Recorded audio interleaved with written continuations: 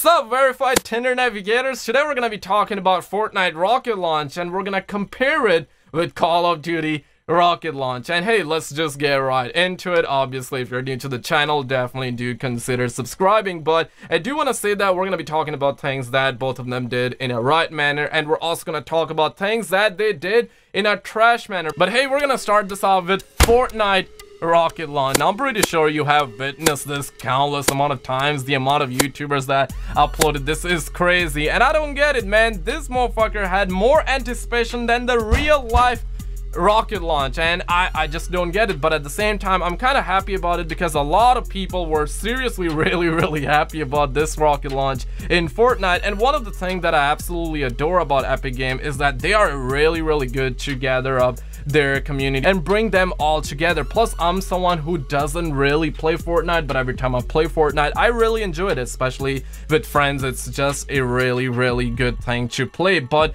this one was one time only thing, and this has some good things about it and some bad things about it. I would say this has seriously some really, really good things about it, but at the same time, I will still provide the opposition point of view. But at the same time, you're watching the gameplay in the background, and this one was provided to me by my Nig SPFFA, so a big, big shout out to him. He uh, was very, very polite when I asked him about it. But number one, this was one time only thing, so it builds more anticipation, meaning that it will bring everyone together and everyone would be looking forward. But this also had a bad thing about it. But at our number two spot, this one was bad because this got the whole servers clogged up. And if you were late to the party, and late is not what I mean to say, late in a way where you're like a minute early, but that was classed as late to the party because if you were trying to be in the game a minute before the rocket launch, you were placed in a queue. And this was the one time only thing. So if you were late to the party, if you were in the queue,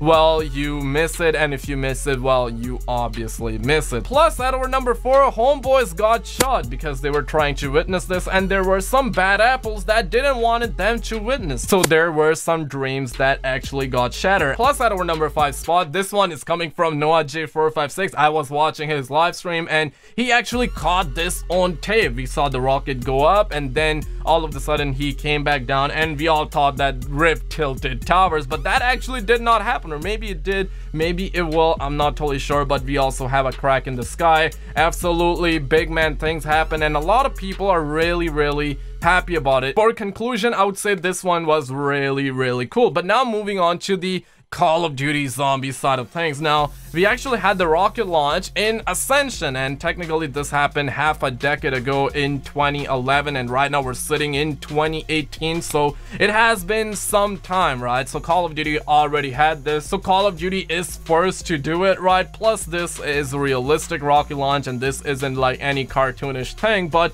you can do this at any time, so that just doesn't build anticipation, but obviously this is Call of Duty Zombies, so this is in a separate world, so it is obviously meant to be that way. So there was no anticipation, plus in the Rise and Wrath, we also have the rocket ride that blows up the earth, and that just happened recently, I believe, two to three years ago, right? So that one was really, really sick as well. And hey, if you miss it, you can do it again. So there is absolutely no way you will miss it. And this was in Call of Duty since 2011. Like I said, it's realistic. And you can also actually destroy the rocket by using the ray gun or any other weapon but with ray gun it would be really really easy. And now you're watching the third person gameplay. I couldn't go above and beyond but you can see the rocket is absolutely fire. I'm not sure why we came down to this where we are actually watching and we're getting excited about rocket launches in video games. I don't get it but at the same time people were really, really excited. In conclusion, I would say Call of Duty Zombies